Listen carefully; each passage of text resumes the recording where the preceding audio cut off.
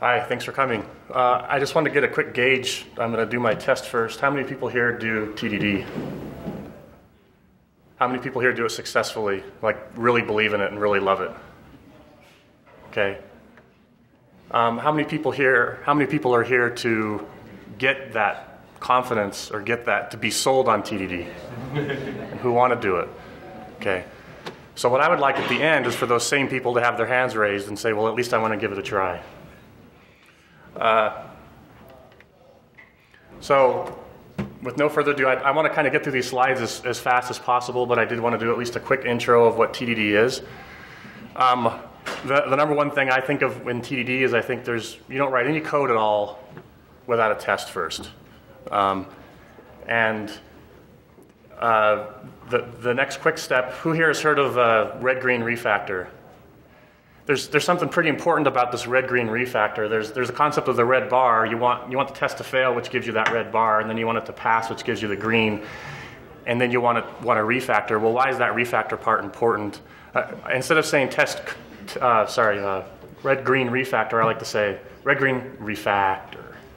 Give it a little bit of time, because now it's green, you can spend your time and make the code a little bit better.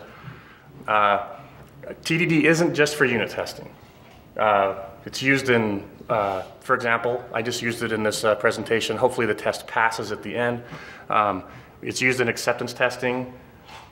Uh, and uh, it, um, and the, the, the, other important piece here is that it, I've been doing it for a little while and I still learn every day.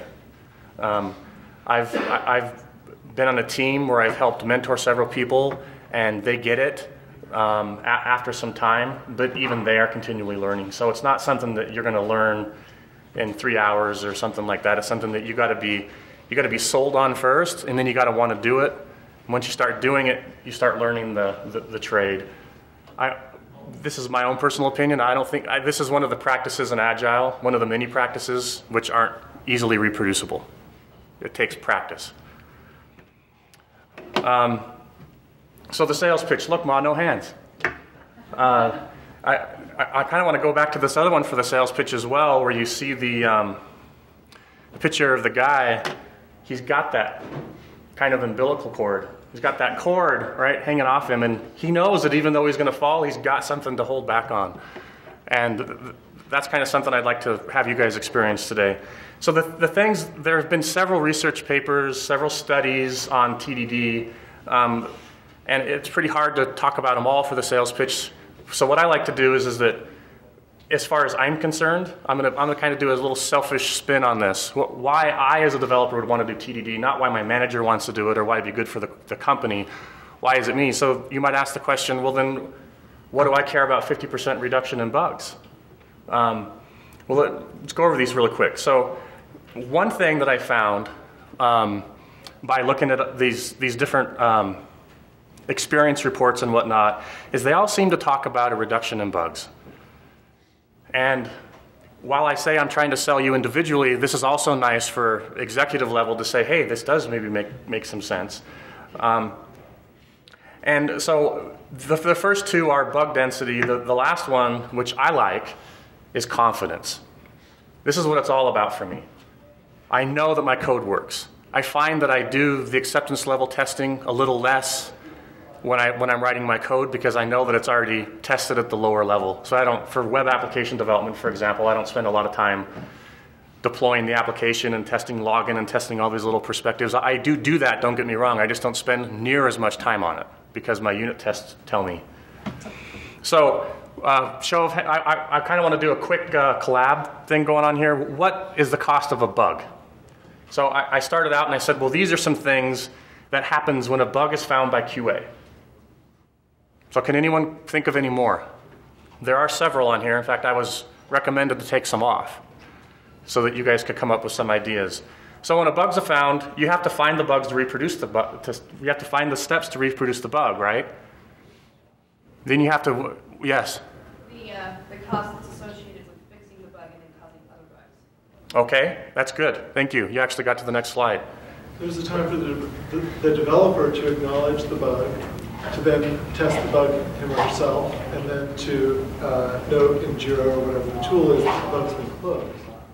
Okay, so those are, is that two or three things? Three. Three. And so for the developer to acknowledge the bug, is that just the developer looking at it, or does it also sometimes need to get prioritized? It, the developer who handles the bug may not have been, may not be the person who. Oh, so he just got he just got it in his queue, and he's acknowledging it, trying to build context. Right. How much time do you think that would take? 15 minutes. okay. And then what was the other one? Fixing it? Fixing it and then going into the system and acknowledging that it's been fixed. Okay. So I want to I want to skip fixing it because that's kind of a hard one. Uh, three minutes, four years. I, hopefully not four years, but a, a very long time to a very short time. Um, so what about uh, what about in? So resolve going in and, and Yeah, that's like two minutes. two minutes. Okay. So far it's at 12 minutes then. Okay. So yes. Um, if the bug is released, it could affect customer loyalty. Okay. If the bugs released could affect customer loyalty. Thank you. Yes. QA has to validate the fix. QA has to validate the fix. How long does that? Test. Pardon me? We have to retest the code, do it again. They have to retest the code and do it again. So how long does that take? Just a quick number. That's all I'm interested in. 10, 15 minutes, okay? Does, Well, in some cases, you have to triage the bug, prioritize it, so somebody has to have a meeting about it. Okay, so the, that's right. So, and, and how many people does that include? Six. And so let's say that you're going over one bug, five minutes for each person in the room, so that's 30 minutes. Okay, so now we're at about an hour. And, and we haven't talked about finding the steps to reproduce the bug. I, I know in many cases that could take 30 minutes, uh, an hour sometimes. I found a bug, now how do I make it so development can consume this and reproduce it? So now we're looking at about an hour and a half there. Um, what about uh, just dev and QA sitting down and discussing it? Five minutes, 10 minutes? Okay. Are there any more? Yes. The argument where the developers cast blame at each other. Okay, good. The argument where dev casts blame. So how much time do you think that, that costs? Uh, a half hour to an hour. Half hour. Let's, so, so let's be modest and say a half hour. So now we're at about two hours and 20 minutes or something. Yes? Then you have the argument between whether it really is a bug or whether it's a configuration issue. Okay. Good. So another 15, 20 minutes. So let- let's just cap it off and say about three hours is what a single bug costs. And I- it, it depends. Um, for example, what if the customer found the bug? Now do you need to, now do you need to include more people in that process? Does it need to get prioritized differently? Um, and that this was brought up. What, what if it introduces new problems in production? So quick vote, really quick. How long then do you think this all might add up to be? What, what's a, a pretty modest amount of time that that bug costs without even fixing it? Six hours? Going once? Going twice? Okay. Uh, so what does this mean to me? Well, how many bugs are in your current project? Any, any takers? 40? 40? It's only one per line of code in. One per line of code. so uh, a, a recent, yes, Kay. Thousand? A thousand. All right. So now we, we go back to the numbers and say that there's between a 40 to 90% reduction in bugs. So let's just take it, let's just say 50, because that's, I'm, I'm a simple person. Um, so that's, you just reduced 500 bugs, and we said about six hours. So six times 500 is how many hours? 3,000 hours? So as a developer, what that means to you is I get to spend more time coding, less time fixing bugs. So I don't know what this duck's doing here, but um, I'd like to do a demo on the Fibonacci sequence. But I want to take a couple minutes and just explain what the Fibonacci sequence is. is would anyone here like to explain it? Yes. Sure, it's the sum of, it's a series in which you take the first number and the second number, and you add those together. You add each number with its previous two, and you get the third. Okay, good. So it's like n minus 1 plus n minus 2? So if you're, if you're looking at the Fibonacci sequence for 5, it would be 5, the Fibonacci sequence for 5 minus 1, which is 4, plus the Fibonacci sequence of 5 minus 2, which is 3. One, one, two, three. Okay, good. And, and there are the numbers up here. Uh, I, I have a cheat sheet um, uh, which is right here. So I'm actually gonna, I'm using IntelliJ, and, and there's a couple things I wanna demo. I don't have a lot of time to talk about them specifically, but I'm gonna be using InfiniTest, um, which is something that runs in the background. While you build your code, it just, it's running the tests in the background, and it only tests the code. It only runs tests for the code that's been changed, which is nice when you start getting many, many tests. Um, and it's also nice thinking that I only need to run this one unit test when I change this code, and you find out there's actually lots of other unit tests that need to be run. Um, and two, it saves time. So I'm in IntelliJ. I'm going to create a project. Um, just call it TDD demo. Maven. I'm going to make it a Maven module.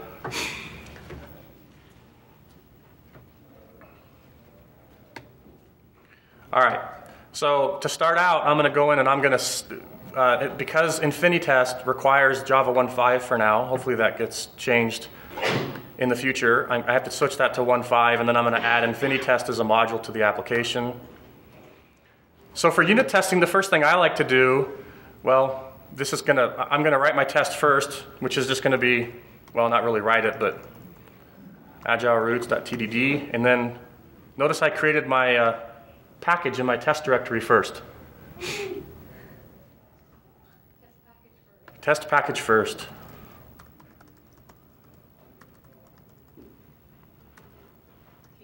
Thank you, Kay.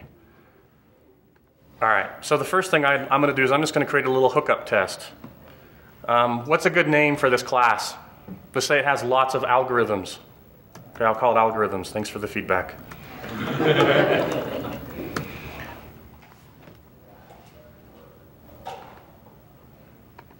Great.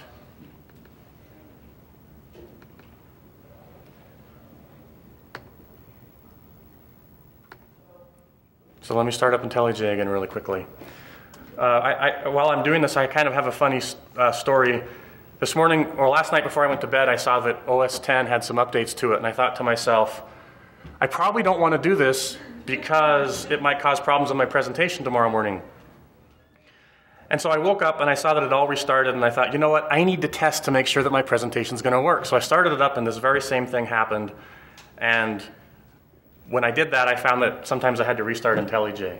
So another, in this case, test afterwards, but I thought of the test before I did the presentation at least.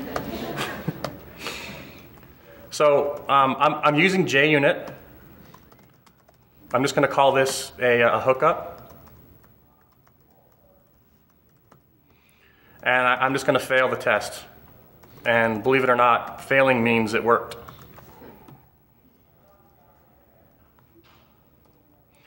Um, I am using Maven. I, I kind of want to show some of you the the, uh, the, the benefits of fully working in your IDE. So I'm gonna I'm gonna add um,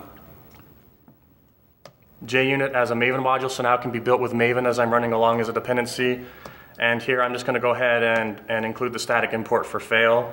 And um,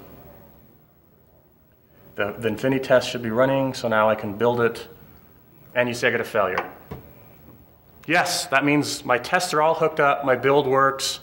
Now I don't have to worry about all that. Now I'm going to write my first test. Um, what I'm going to do is when I do tests, I like to first test the exceptions. So since there aren't any requirements on this, I'm going to, I'm to make a new requirement, and that is I'm not going to worry about negative numbers. Um, so in order to do that, I'm just going to simply look for a uh, illegal argument exception because I don't really want to create a new exception. And I'm going to do a. Uh, so what's the what's the first Fibonacci sequence? What's what's zero for Fibonacci? Okay, so sequence number. Whoops. Zero. I'm ahead of myself. Um, algorithms dot Fibonacci. I'm going to pass it zero. All right, so now I have to worry about some things here. Yeah, go ahead and import my assert. It, uh, it says it's no, it doesn't know about a class called algorithms. Let's go ahead and create that. And now it says it doesn't know about a method called Fibonacci. Let's go ahead and create that. For now, I'm going to have it return an int since, well, hopefully I don't have to explain that. Ne- uh, negative 1. So now I'm checking what? The first one is 0. So we, we talked about red, green refactor. So what am I doing here? I'm getting the red. So let's build it. Uh, oh, whoops. Sorry. Wow, I'm way ahead of myself.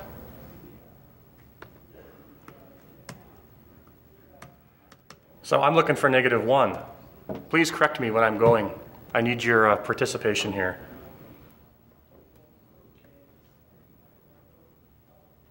So, and, and obviously the name probably isn't very good anymore. So Fibonacci negatives. So it does fail. It says it is expecting an illegal argument exception. It doesn't exist. So how do I make that pass? By throwing the exception. So what if I just do this?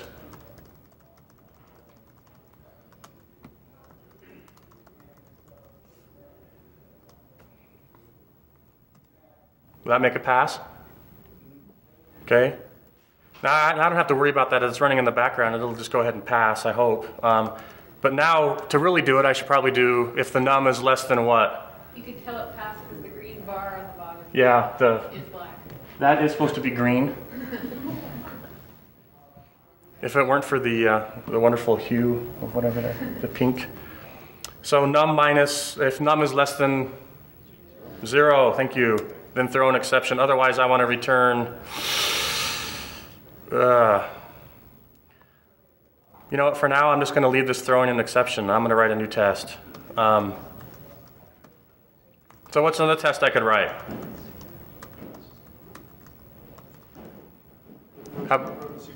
Okay, so I'm just going to call this the first few. So assert equals um, sequence. So when, when I do my unit test, I really, really like to put down the comment of what it is I'm testing. Because after a while, you start getting things and the test fails, and you're like, well, why did that fail? And you got to go look at the code to figure out why it failed. This little message tells you where it failed and why it failed. You don't have to go back and figure it out. So I'm looking for zero algorithms, uh, Fibonacci of zero. And that should return zero. Is it gonna? Is it gonna? Am I gonna get a? Well, maybe it's the same color bar no matter what. Okay, it, actually shows red. So maybe we'll say red and not red. Uh, so it, it doesn't work the way expected. So I have to do a little bit of refactor here. I can't just return zero, right? So I, I now I need to do now I'll do my check. If by the way, there's no science behind this. I could have done it completely differently. It doesn't matter in, in many cases. In fact, the way I, I, I practiced this a little bit before, and I never did it this way. This is the very first time I'm doing it this particular way. Um, so we talked. You guys all answered the question. Check if it's less than less than uh, num. Then I want to return. I want the test to fail first to make sure that my test is valid. Does everybody understand that principle? If you have a failing test and it shows red first, and then it shows green, how much more confident are you that the test actually does something correctly, that it's checking something right? Versus if it's not red, if you just write a test and it always passes, are you sure that that test is actually testing something? I have actually written tests that pass no matter what.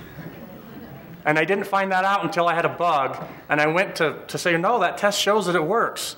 And then I went and fixed the back end, and it didn't change. It still, it still passes. Okay, time to change the test. When, when is it going to fail here? Uh, so it's really important to get the red-green part of this here. Okay, so now it's red. Now how do I make this pass in the shortest time possible? Return zero. Thank you. All right, so now I'm going to introduce, um, I'm kind of going to jump around a little bit. What, what's another problem with this particular algorithm? It's returning an int. At what point might it blow up? When it returns an int that's larger than, pardon me? The size of the integer. The size of the integer. Okay, so I'm going to still throw an illegal argument exception, except this time I'm going to, I'm going to test something that's too big. I happen to know uh, that 47 is larger than the max, which is this. So I'm going to go ahead and I'm going to write a test for that. And therefore, I still expect an illegal argument exception when I pass 47. Does, there, does that make sense to everybody? Any questions right now? Silence. Um, okay, so I got the failure. So now how do I change this to, to make the test pass? I need your help.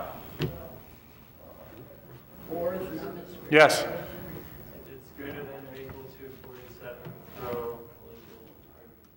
Okay, so I can say if num is uh, greater than 46. Is that good? Will it pass? It'll pass, but it's not good. It'll oh, it'll pass, but it's not good. Why is it not good? Your uh, legal argument exception isn't descriptive for the, the high end. Thank you, Jonathan. No negatives. Is that descriptive enough? No. Um, uh, and or nor n- nums. Wow, if I could only type greater than 46. How's that, Jonathan? Wonderful. That's what I thought. I, all right. Green bar. Green bar. At least it is over here. All right, so now I'm going to introduce the next test. What am I going to test? First sequence? What's the first sequence? Or what's the sequence number one? One. Now I'm introducing a code smell here, or a test smell. What, what's the test smell? Copy, paste. So, pardon me? Multiple asserts for a test. Okay, multiple asserts for a test. Um, the fact that I did copy paste here, which I'm, I'm going to fix in a minute, but before I fix this refactor, I want to make sure that my test actually passes. So how do I make it pass? Can I say return num?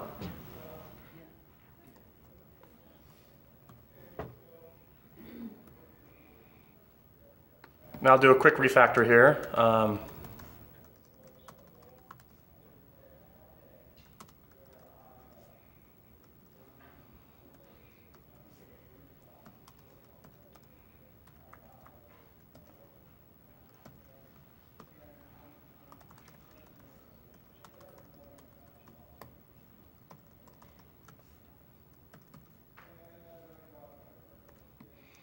So how do I change the sequence number zero? What do I need to do here? Key value sub what? So here I've got the, right, right here, I'm saying that the zero one, I expect it to be zero, and the sequence number one, I expect to be one. So I'm going to say that sequence key of key value equals key sub of, of uh, zero. And this should be key sub, key value sub one or two or zero. One, thank you.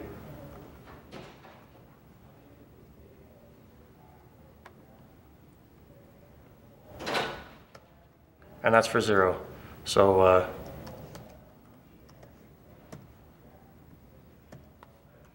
make sure my test still pass after the refactor. Maybe get rid of this extra test. Now I've got one assert. Sorry, bad joke. Anyways, um, so now what do we need to test? It, it, it'll get more interesting in a second here. The second one, maybe, sequence number two, and what's it? One?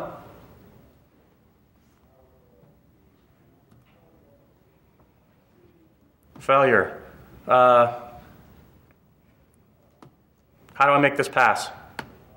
Returning num no, no longer works. What do I need to do? I need to do a refactor here. You need to actually look at the sequence. I, I need to actually what? Do the sequence. I need to actually do the sequence. So there are different ways we could do the sequence. What's a good way? Iterative or uh, recursive?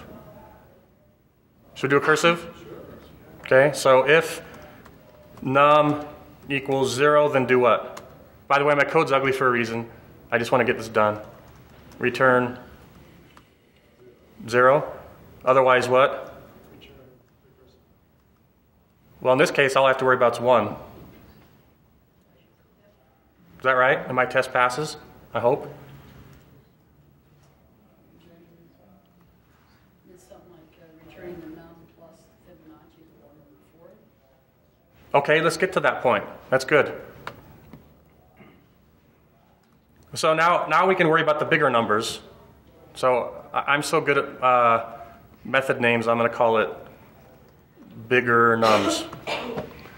And now I just copied and paste, which is another problem, do you think? So uh, uh, I'm going to use a little refactor here. Create a method called uh, fib test, test fib, whatever. Boom, now. Uh, okay, so now I'm doing bigger numbers. So the bigger number would be 3, and what's the Fibonacci of 3? 2, thank you.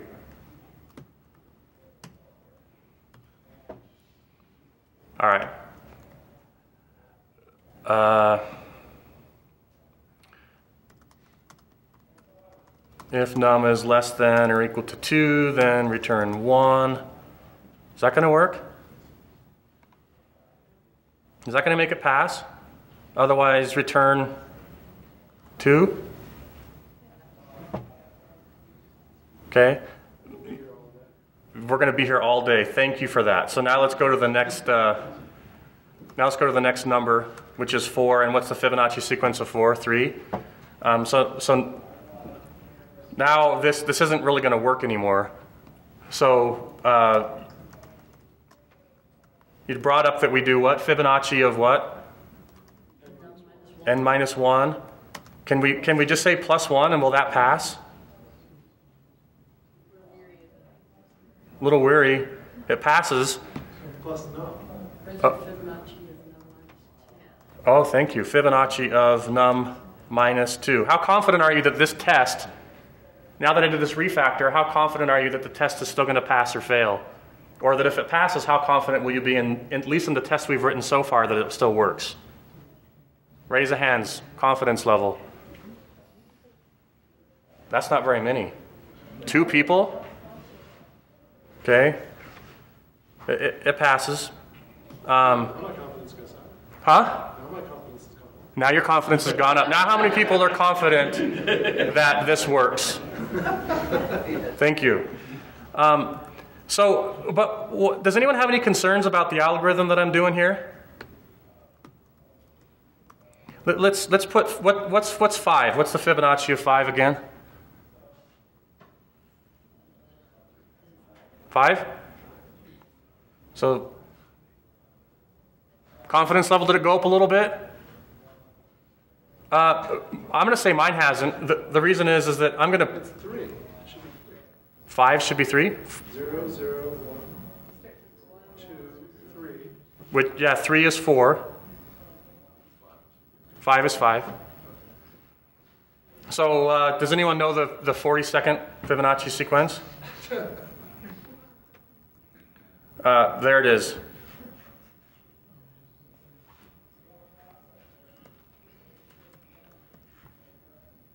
So if this passes, how confident will you be that, that we just came up with a good Fibonacci sequence algorithm? How many people would raise their hand if this passes that it's good? Okay. Ugh. That, that's yellow still running. Did you copy paste? Okay. So after some time it ran, are you happy with the time that it takes to run it? No? Well, let's just let's just throw another number in there just to make us really unhappy. All right. So while that's running, I, I'm going to declare that this method that we came up with via TDD isn't the most efficient method. We're using recursion. Recursion can have problems with memory and slowness, as we can see. So I- I'm going to take a mathematical approach at this. And uh,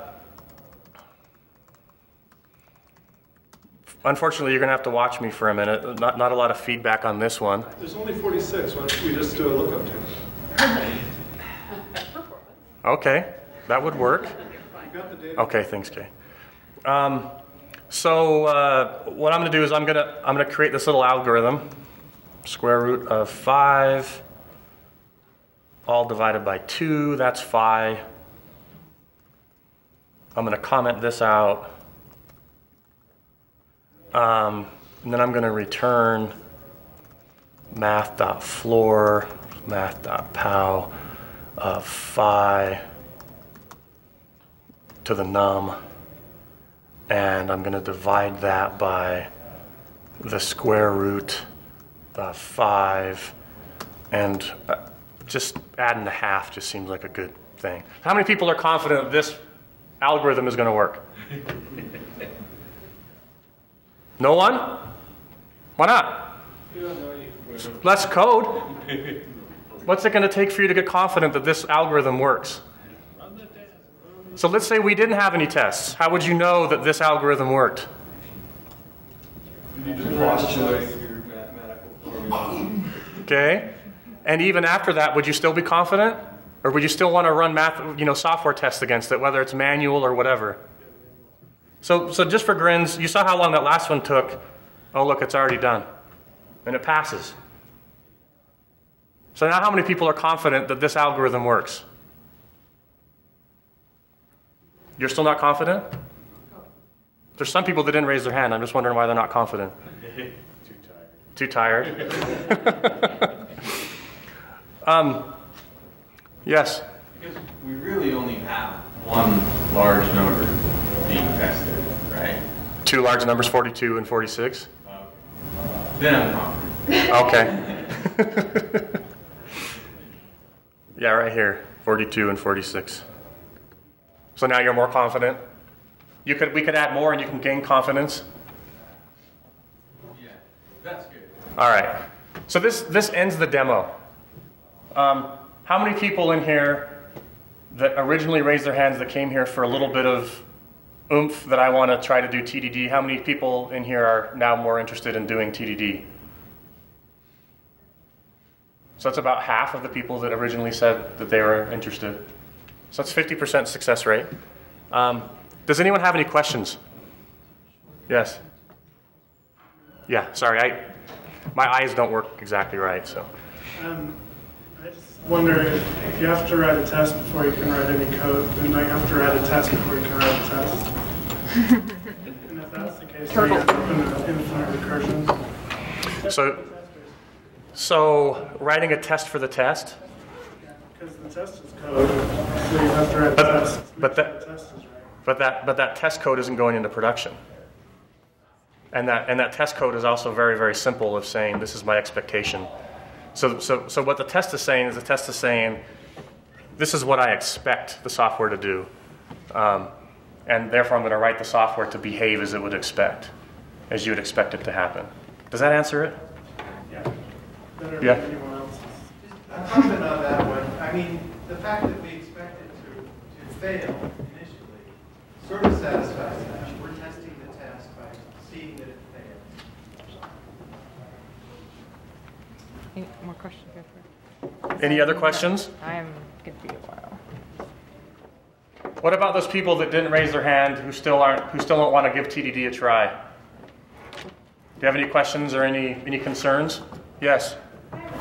So I'm actually not a developer, I'm a QA manager, and one of the things that has been difficult is getting a team of engineers who are not, have, have really never had any experience with uh, TDD to, to build confidence in their own skills and to actually learn how to do it and do it well. I don't think they have that, I mean, as far as understanding that concept, it's, it's really hard for them to grasp right now. Yes. Um, So is there information that I can, you know, give them that would kind of help guide them? So there's a, this is something Kay knows that I've, happens to be dear to my heart. Um, I have, I've worked with this specific, I've mentored teams under this specific scenario um, a a few times and have been successful at, at test infecting the whole team. And um, how that's done is by showing as much support as you can show. And you'd asked about, well, what type of training do I provide them? Um, I wish I, I should have prepared that and had a, I have a blog post up that talks about how to convert a team over. It's called Test Infecting a Development Team. I actually sent that out recently. Oh, did you? and um, so the, the important thing is that there's users groups.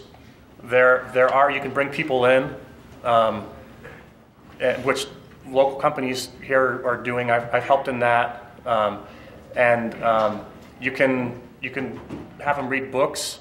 You can, you can just have successes of, I want everybody to try. I, I heard of certain organization that gave away monitors, LCD monitors. This is the time when there was a transition between the two. Gave away LCD monitors for the first, was it 10 unit test or something? So after somebody wrote a certain number of unit tests, they got their LCD monitor. Um, so again, that's not necessarily TDD, but there's there's two hurdles to jump. There's unit testing and there's TDD. In my opinion, I think you should just go TDD. Um, but in the middle of a project, that's might be hard because stuff code's already been written. It's already been written a certain way, uh, which I think Jean's presentation after Kay's will be really good. His his tutorial will be really good at that one. Thank you. Yeah. Okay. Okay. thank you.